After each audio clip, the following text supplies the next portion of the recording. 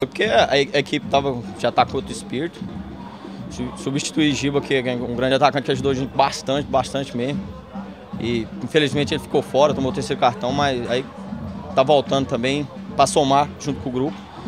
E agora é partir o próximo jogo, já pensando em, em sair com a vitória para a classificação já para a final. Né? Nós demos azar depois num, num, jogo em casa que nós perdemos o Claudemir. Aí já não, te, não pude utilizar essa, essa, essa mesma formação.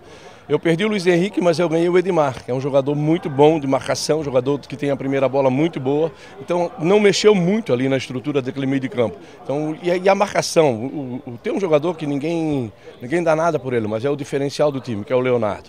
Ele não para um minuto de correr, ele marca o primeiro volante dele o tempo todo. Ele, no segundo tempo ele começou a marcar o lateral direito do lado de cá. Então esse jogador é de, de fundamental importância para o esquema tático do time.